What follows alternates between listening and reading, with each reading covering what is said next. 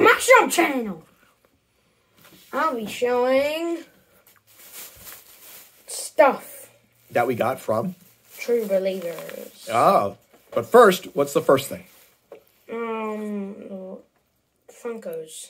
Two Funkos? Two Funkos. Okay. Harry Potter. Um, with on broomstick. With we're trying to catch a key. Okay. Um, Funko 2021 Summer Convention Limited Edition. This is from the virtual FunKon, FunkoCon that they had. I'll take the sticker off. Uh, the uh, the price tag off. I already did. The whole thing. Kind of ripped. Okay. Well, I'll I'll take care of it. But here it is.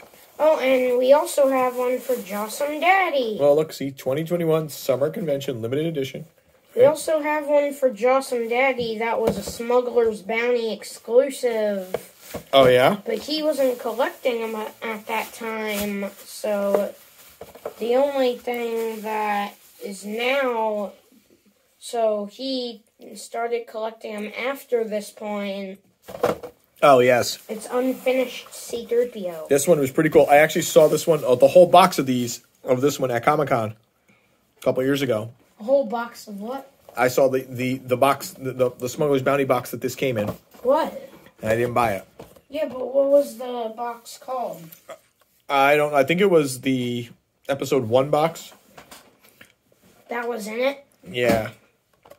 So, yeah, those are pretty cool. Mm. Mikey's gonna open his up. Oh, and I knew that this one actually, since he's on his broom in the air flying, mm-hmm. it comes with like a clear stand. Oh yeah. See? Oh yeah.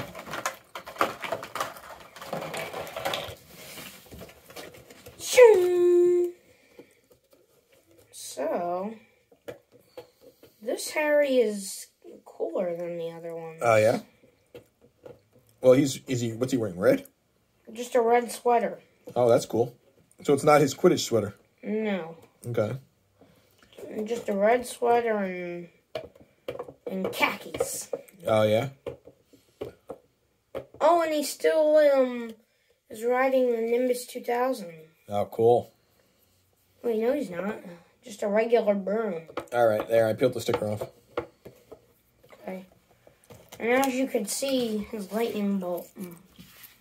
And I let him fly towards the camera. Whee! There he is.